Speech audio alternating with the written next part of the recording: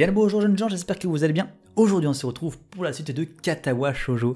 Dans la dernière vidéo c'était super puisque c'était sûrement le début euh, du commencement, enfin le début du commencement, ça veut rien dire, n'est-ce pas? Euh, Mais ça semblait euh, plutôt bien commencer puisqu'on avait eu voilà la petite scène en haut de la colline où Lily nous disait qu'on était différents et et Isao qui disait en rentrant que peut-être que c'était plus que de l'amitié. On avait eu le, même monologue interne de la part de, euh, d'Isao lorsqu'il parlait d'Anako, sauf que bien sûr à ce moment-là il se disait peut-être qu'en fait c'est juste une envie de la protéger. Enfin, tu semblais qu'il était assez hésitant sur sa façon de voir Anako, est-ce qu'il voulait juste euh, se rapprocher d'elle, est-ce qu'il voulait la protéger, euh, voilà, qu'elle soit plus à l'aise avec lui, tout simplement. Bon là du coup comme Lily est très différente d'Anako, puisque Lily a confiance en elle, elle n'a pas le même état d'esprit envers sa personne et sa situation qu'Anako, donc tu peux te dire que là par contre ça peut être qu'une seule chose, ça peut être de l'amour, en tout cas des sentiments semble euh, en tout cas éclore. Voilà. Donc on va continuer bien sûr cette fabuleuse euh, série. Attends quoi? Hein? Je transpire. Mais comment ça? Je transpire beaucoup. Attendons le moment crucial. Chaque tic de l'horloge tend mes muscles un peu plus, chaque minute me donnant des cheveux blancs. C'est la musique de Kenji ça le complot féministe. Trop bien cette musique. Ça vient pour moi, je peux le sentir. La mort. Qu'est-ce qui parle ça encore? La mort souffre d'une feuille de papier. Ah, c'est un test. Oui, c'est l'examen, l'examen de science, c'est ça. Je prends la petite pile de papier que me tend l'étudiant en face de moi et fait passer derrière moi après avoir pris celle à mon nom. Regardant dans le coin en haut à droite de la page, mes craintes se réalisent au centre de ce petit cercle rouge. 43. Ah, d'accord, c'était sa note. Putain. ah, ah c'était très bien fait. C'est très fait. 43, forcément. Pour ceux qui ne savent pas, au Japon, et dans d'autres, euh, pas qu'au Japon d'ailleurs, mais en tout cas au Japon, c'est comme ça, euh, les notes sont sur 100. Donc 43 sur 100, c'est moi la moyenne. Ma tête tombe et je soupire en me résignant. M'adossant le, maudissant le monde entier, je peux sentir l'aura d'un sentiment similaire se propager dans la classe. C'est étrange, mais ça me fait remonter très légèrement le moral. Le malheur aime la compagnie après tout. Alors que le professeur ouvre la bouche, tout le monde se prépare pour le massacre inévitable. Sauvé par le gong Nous nous dépêchons de prendre nos sacs et partons pour manger, mais le professeur lance une attaque au flanc. Oh mais non Mais non, ils ont refait l'erreur Mais ils ont refait l'erreur du flanc Mais non, mais le flanc, toujours avec un C le flanc, ça change pas, c'est toujours pas le gâteau, hein Oh là là Nous discuterons des scores de l'examen la prochaine fois. Pas besoin de le préciser, il y aura de quoi parler. Un gémissement collectif résonna dans la classe, maintenant réduite à sortir découragée. Je mets la feuille dans mon sac et sors dans le couloir, la chiffonnant en même temps. Déjà hier, j'ai eu cette lettre qui a fini sur mon bureau et maintenant ça. Je déteste l'anglais. Ah, c'était l'anglais, c'était pas les sciences. Isao. Une voix de femme, normal, tu connais que des femmes dans l'école apparemment, venant de derrière m'appelle.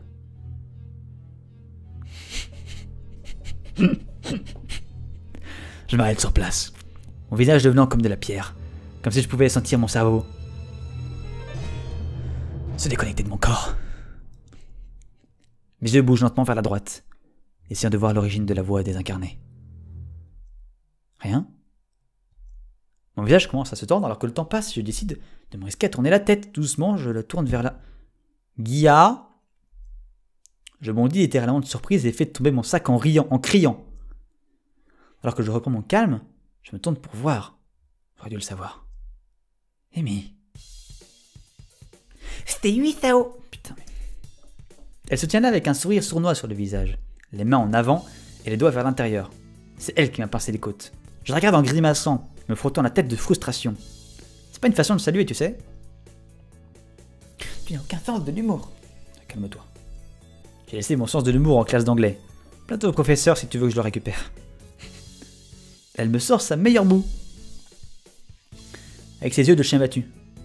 Lily m'a appris à résister à cette technique, mais la petite taille d'Amy ajoute suffisamment d'effet pour me radoucir. Donc quoi de neuf? Ça fait un moment que je t'ai pas vu. Comme d'hab, vais en cours tellement vite que personne ne veut me rejoindre pour mes courses matinales. Ah. C'est cool. C'est pas drôle. Sa modestie ne cessera jamais de m'amuser. Cependant, et euh, Tu sais à quoi se pense, n'est-ce pas, Isao? Non, je ne veux pas faire de course avec toi. On lit trop facilement sur mon visage. C'est une de mes pires habitudes. Elle voit clairement à travers moi. Heureusement, je vois quelqu'un d'autre m'approcher, me donnant une échappatoire. Oh, salut Anako Je la salue de la main et fais de mon mieux pour agir comme si je n'avais pas remarqué la moue d'Amy. Anako me fait un signe de retour. Bonjour Isao et, et Amy. Ah, Salut Anako. Je vous rejoins Lily et toi dans une seconde. D'ailleurs, en parlant de compagnie pour déjeuner, c'est bizarre de te voir sans Rin, Amy. Ah, Rin Oh là, oh là là, putain. ok, on va rien dire, on va rien dire. Sans dire un autre mot, elle nous oublie et part en courant dans le couloir. Elle a dû oublier que Rin l'attendait. Anako et moi restons là sans un mot, seulement, incap seulement capables de nous tenir là à regarder la boule d'énergie partir à toute vitesse. Putain. Ah Ah oui, Isao. Elle s'arrête brusquement juste avant de disparaître au coin du couloir vers l'escalier du toit, et se retourne pour être en face de nous. L'anglais aussi. Mais c'est cool.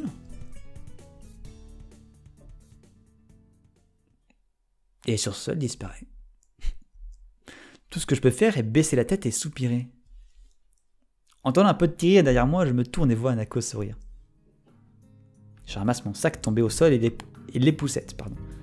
Bon, elle est partie. Tu, tu n'aimes pas l'anglais? Elle a eu 87, elle, tu vas voir. Hmm? Oh non J'ai un examen en anglais il y a un petit moment, et Amy m'a pris... Quoi? Mais dans ta classe, elle a aussi une note J'ai eu un examen en anglais il y a un petit moment, et Amy m'a surpris au moment où je me morfondais sur ma note. Mais... Mais elle a... Mais vous êtes dans la même, vous êtes dans la même classe Je comprends pas. Ah, désolé. Je comprends pas, moi. Elle évite mon regard, se sentant visiblement coupable. Quelqu'un d'autre aurait pu croire que je venais de lui rappeler la mort d'un de ses proches.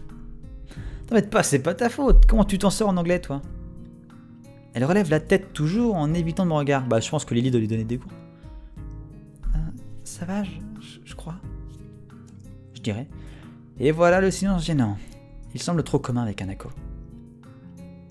Oh, euh, Lily a demandé si, si tu voulais nous rejoindre pour déjeuner sur le toit. Ah bah ça va être une grande famille sur le toit, c'est trop bien Je ne pense pas avoir quoi que ce soit de prévu.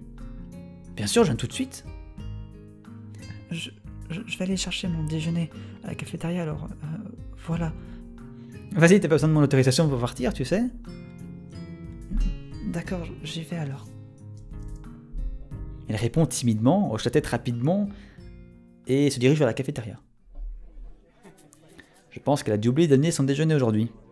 Parcourant les couloirs, de plus en plus d'étudiants sortent de leur classe et passent à côté de moi, se dirigeant dans la même direction que Hanako. À l'instant où j'arrive aux escaliers, je dois me frayer un chemin dans un petit groupe d'étudiants en train de discuter. J'arrive finalement à passer le dernier groupe et monte les escaliers, puis ralentis un peu le rythme avant d'ouvrir la porte du toit. Rat Je me couvre les yeux un moment, aveuglé par le soleil d'été. Hmm. Mais ça surprend personne. Personne n'est surpris. Recouvrant lentement ma vision, les alentours prennent forme. Lily, Amy et Rin sont assises ensemble sur le toit. Le haut de la forêt qui entoure Yamaku est visible à travers le grillage comme pour cadrer la vue. Ah, Isao Lily et Rin... Oh Je dois faire la voix de Rin. Ah, je suis pas prêt encore, putain. Lily et Rin m'adressent un hochement de tête en guise de salutation. Je commence à marcher vers le trio quelque peu dépareillé et ne peux pas m'empêcher de m'étonner de la vitesse à laquelle Amy engloutit le reste de sa banane à moitié mangée. Salut ça fait, bizarre de vous voir tous les trois comme ça? Ça semble être dur de jouer des coïncidences. Amy et Rin ont décidé de manger sur le toit le même jour que Anako et moi. On mange tout le temps sur le toit de toute façon. Tu l'as volé Cet endroit était à nous Ne dis pas ça, c'est pas possible de voler un endroit. Je m'assieds aux côtés de Lily, formant un demi-cercle avec elle trois. Je crois qu'elle a raison. Alduin, elle était pour toi celle-là. Toi aussi? Les papillons et son complice. Elle était encore pour toi celle Le pas Regardant autour, je vois un petit papillon jaune passer devant nous. Donc dis-moi, comment est-ce que le papillon a aidé Lily à voler cet endroit? Il a espionné notre conversation et le lui a dit. J'aurais dû m'attendre à un tel raisonnement de la part de Rin. Néanmoins, ça ne fait pas mal, ça ne fait pas de mal de jouer un peu. Tu me dis qu'elle peut parler au papillon? Il y a des gens qui peuvent murmurer à l'oreille des chevaux. Ça s'appelle des murmureurs. Lily doit murmurer à l'oreille des papillons. Je m'enfouis le visage dans les mains. Tandis que Lily s'approche de son étrange camarade. Elle ne semble pas partager le sens de l'humour de Rin. Les murmureurs travaillent pas comme ça. Amy et Rin continuent de leur plaisanterie alors que je me tourne vers Lily qui finit sa petite boîte de riz au curry avec une paire de baguettes en bois. Donc qu'est-ce qui t'amène ici d'ailleurs? Un peu d'alfred de temps en temps ne fait pas de mal. Ah Amy s'interrompt dans sa vaine tentative d'apprendre le principe de la logique à Rin. C'est aussi pour ça qu'on est venu ici. Quelque chose me dit que, c'était son idée juste à elle et que Rin a été traînée ici de force par Amy. Cela dit, on pourrait dire la même chose de Lily et de Hanako. Eh bien, eh bien, nous pouvons partager. On peut entendre le grincement de la porte du toit au moment où Lily finit sa phrase. Un moment de silence règne, alors que l'attention de tout le monde se concentre sur la personne qui passe la porte, la personne qui gère le moins la pression d'être au centre de l'attention. Anako arrive lentement, vers nous, ses yeux rivés sur le sol, n'appréciant pas l'attention qu'elle attire. Elle tend, elle se tend quand ses yeux croisent ceux de Rin. Je ne peux pas m'empêcher de lever un sourcil alors qu'elle arrive vers nous et s'assoit, faisant de son mieux pour éviter de lever les yeux, même lorsqu'elle sort et entame le pain de la cafétéria. Donc comment est-ce que Amy et toi vous êtes connus d'ailleurs? Amy est plus ou moins connue dans l'école pour sa capacité athlétique. Elle est le membre le plus rapide du club d'athlétisme. Elle a même battu Mickey Mira à la compétition de la semaine dernière. Ah oui, Mickey Oui, celle qui lui manque le, la main. On s'en souvient. On lui avait dit, on avait dit, ouais, bah écoute, on aime Anako. Voilà. On lui avait dit. Mickey Miura. Ah, la fille bronzée qui est devant en classe. En prenant en compte sa taille et son corps athlétique, être capable de distancer en course, c'est un bien bel accomplissement. Regardant vers il est clair qu'elle est consciente de ce fait et en rayonne de fierté. Donc Isao, tu as quelle note en anglais? 92 Aïe Sans commentaire. Elle gonfle ses joues et fait la moue. Mais il ne faut pas longtemps pour s'en remettre. Alors, te dis ma note et tu me dis la tienne, d'accord? Ok, ok. D'accord.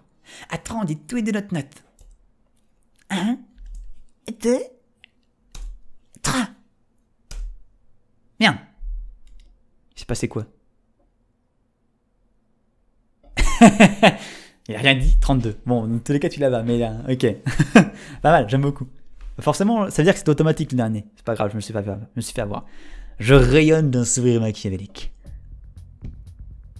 Ah, médecin, médecin, médecin, médecin, médecin, médecin. C'est toi qui as dit, pas moi. J'ai dit le fait que tu réussis à avoir un score encore plus bas que le mien est assez remarquable.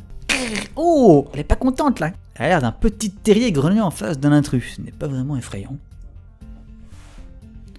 De toute façon, avoir une note plus haute que 32 n'est pas quelque chose dont on peut être fier. Et encore moins en dessous, quelle que soit la matière. Oui, Lily. Désolé, Lily. Je peux t'aider. Ah oui. Dit ça à nous ou à Amy Je peux t'aider avec l'anglais si tu veux, ça me ferait plaisir de. Non, pas besoin, mais c'est gentil, vraiment. Lily a l'air légèrement déçue. Ses espoirs de transmettre son savoir venant d'être détruits. En juger par les rires de la part de Hanako et de Rin, Amy ne reçoit pas beaucoup de pitié de la part des autres. Pourquoi? Genre, genre pourquoi? Alors que je le ris joyeusement, ma voix est brusquement stoppée par ma poitrine qui se resserre. Je m'assois en silence quelques secondes, me concentrant uniquement sur le battement de mon cœur. Ce n'est qu'une petite douleur, mais j'ai l'impression qu'elle grandit. Respire profondément. Respire profondément. Je relève la tête pour essayer de rester attentif à ce qu'il se passe. Mais je vois, mais je vois Amy se figer quand elle remarque du coin de l'œil l'expression de douleur sur mon visage. Euh, Isao, ça va? Oui, je... je vais bien. Je baisse les yeux et redouble d'efforts pour essayer de rester calme. Je serre les poings pour étouffer la douleur. Ça prend un petit moment, mais la douleur, heureusement, commence à s'effacer. Quand je relève la tête, il y a un silence gênant qui plane et des visages inquiets. et des visages inquiets, oh là là J'imagine que je vais devoir m'expliquer. Arrête, me Je viens, j'ai. Juste une palpitation cardiaque. Tu, tu es sûr? On ne devrait pas aller chercher l'infirmier Entendant ça, Anako se lève vite et commence à se ruer vers la porte. Anako, stop Lily, je vais bien. Tu ressembles à une grosse tomate mouillée. Hein? Portant la main à mon front, je peux sentir les gouttes de transpiration et enlève avec ma manche. Merci, je te l'ai dit, je vais bien. Je suis juste quelque peu fragile, j'imagine. L'atmosphère est passée de la gaieté générale à une ambiance morose. La situation était trop bizarre pour qui que ce soit sache comment réagir. Et bien sûr, tout ceci est de ma faute. Ça devait arriver maintenant avec les autres à côté de moi. Oh, Amy? Hmm? En train de boire une brique de jus de fruits, elle lève la tête. Je ne t'ai pas encore dit mon note d'anglais, n'est-ce pas? Ouais, bon, t'as montré étrangère, alors ta note ne compte pas vraiment de toute façon. Étant intrigué, je me tourne vers Lily. Tu as quelle note alors? Elle se relève moins. Elle me sort un sourire effronté. 100, ah même pas. 100 note maximale. Pas possible J'en laisse la bouche ouverte de stupeur. Prenant en compte que ces examens sont super durs même pour les natifs, je ne peux pas imaginer à quel point elle a dû travailler. Je suis sûr qu'elle a retenu tout le dictionnaire. Tu vois, seulement quelqu'un à moitié étranger peut avoir ce score. Tu vois Oui. R. Lily et moi sourions aux dépens d'Amy, sa réaction étant identique à la mienne lorsque j'ai marché sur cette mine la première fois. L'origine étrangère de Lily soulève une question, cela dit. Ah, c'est vrai, tu, demandes, demain pour l'Écosse, non? Oui. Amy a entendu des rumeurs à ce propos d'ailleurs. Il semblerait que les nouvelles se répandent vite, sachant que je n'ai pas dit, que je n'ai dit qu'à un ami de ma classe il y a quelques jours. Ça doit être bien d'aller à l'autre bout du monde en vacances. Vacances, je sais pas, t'as une tante qui est mourante, hein. c'est pas vraiment des vacances quoi. Tu peux passer un souvenir pendant que tu seras là-bas? Fais pas la timide surtout. Lily aimait un rire l'été. Elle s'attendait à la réaction gênée d'Amy. Le reste du déjeuner continue joyeusement. La bonne humeur d'avant ma palpitation était revenue.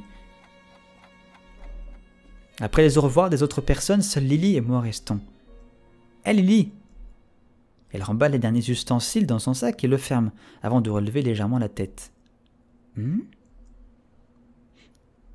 Merci d'avoir changé de sujet tout à l'heure. Je vais le faire, mais je sais pas vraiment comment. Je voudrais bien être de meilleure humeur, mais entre la lettre d'hier, mon examen loupé et maintenant mon cœur qui faisait des siennes, ça rendait les choses difficiles. Elle m'adresse un sourire indulgent. J'espère qu'elle n'a pas remarqué que je suis morose, mais la connaissant, elle s'en est sûrement rendu compte. Amy est forte, mais elle est aussi humaine. On s'inquiète pour toi, Isao. Attends, pourquoi je t'inquiète? Son sourire s'efface, son visage devenant sérieux. Isao, nous ne sommes pas ignorants de ta situation. Compte. Elle s'interrompt brusquement, n'étant pas sûre de continuer sa phrase. Je souris doucement et pose ma main sur son épaule. T'embête pas. Je m'inquiète pour moi-même, c'est suffisant. Je veux pas que vous partiez, que vous portiez aussi mon fardeau. Mais. Si vous vous en souciez, je devrais m'inquiéter de vos inquiétudes. Ça. Ça complique trop les choses. Je vais bien, d'accord? Pendant un moment, elle a l'air perdue dans ses pensées, réfléchissant à comment réagir. Isao, et elle te reste du papier de l'emballage de notre déjeuner? Je crois, euh, je vais voir. Je fouille dans mon sac. Les restes du déjeuner se et trouve une feuille de papier de l'emballage de mon sandwich. Me demandant la raison de tout ceci, je place la feuille de papier carrée dans la main de Lily. Sans un autre mot, elle fait le tour de la feuille avec ses doigts. Ça devrait être suffisant? Assis tous les deux sur le toit, les minutes qui s'écoulent nous rapprochant de la reprise des cours, elle pose la feuille sur le sol et commence son travail. En silence J'aurais fait de l'origami, genre comme ça au calme. genre, j'aurais pensé qu'elle noterait son numéro de portable pour l'Écosse, tu vois, mais même pas. Je regarde ses, doigts, ses doigts pardon, plier la feuille dans tous les sens avec une extraordinaire dextérité. Une petite pliure ici, une grande pliure là, ses doigts continuant lentement mais sûrement. Son expression est calme et sereine. Le fait que son visage soit face à l'horizon alors que la feuille est au sol rend la vision de son travail plus que curieuse. Ses épaules se relâchent un peu une fois qu'elle a fini. C'est seulement une fois qu'elle tient l'objet dans ses mains que je réalise que c'est. C'est un moi miniature, avec un papier de 4 cm sur 4 cm. Et non, c'est une grue. Une petite grue en origami. C'est trop bien C'est trop trop bien. L'image est trop bien. Un peu marron à cause de la couleur du papier utilisé. Le résultat est plus que précis. Tu peux faire des origamis? J'ai appris comment faire quand j'étais plus jeune. Ça améliore un peu la dextérité. Ah. Un peu déconcerté, je prends avec précaution les petits oiseaux de mes mains pâles, comme s'ils allaient se casser au moindre mouvement. Il semblait être plutôt bien fait. Nous attrapons tous les deux nos sacs et nous dirigeons vers la porte. Lily déplie sa canne en même temps. Je regarde encore l'œuvre de Lily pendant que nous parcourons le couloir. Sa main s'aidant de la rampe en métal pour se diriger. Elle a, elle a appris l'origami pour avoir une meilleure dextérité. L'utilisation de ses mains signifie tellement étant donné sa condition. Ah, c'est donc ça. Je souris en réalisant la signification de l'oiseau. Tout le monde ici doit trouver ses propres moyens de gérer son handicap. Tu n'es pas seul ici quand tu as des problèmes. Merci Lily. J'apprécie l'attention. Elle sourit tendrement et hoche la tête, n'ajoutant rien d'inutile, comme à son habitude. Tout ce que je demande, c'est que tu prennes soin de toi, Isao. T'inquiète pas, je le ferai. Promis? Promis. Et sur ce, nous nous séparons. Pour être honnête, je ne sais pas ce qui me gêne le plus. Le fait que je puisse mourir à tout instant, ou le fait que tout le monde le sache. Je pense que j'ai juste. Bah, j'ai plus que tout le monde le sache, parce que si tout le monde le sait, ça veut dire que tu sais que tu peux mourir à tout instant. Donc celui-là regroupe les deux. Voilà. Je pense que je vais juste prendre chaque jour comme il vient. Comme le cadeau dans ma main le me rappelle, je ne suis pas seul ici. Même si je suis comme ça, je ne suis pas seul. S'ils s'inquiètent, si n'importe qui s'inquiète, je sourirai. Je sourirai suffisamment pour que toutes leurs inquiétudes s'en aillent. Waouh, quelle belle note de fin. Waouh Eh bah écoutez, franchement, hop. En tout cas, voilà, épisode fort sympathique avec tout le monde. Honnêtement, je ne m'attendais pas du tout, pas du tout à euh, ce qu'il ait encore une crise. Et franchement, franchement, c'est un extrêmement bon point. Enfin, dans le sens où, et ça, euh, je vous le dis, j'avais complètement oublié, enfin, comment dire, j'avais complètement oublié la gravité de sa situation en fait. Enfin, on n'y pense plus.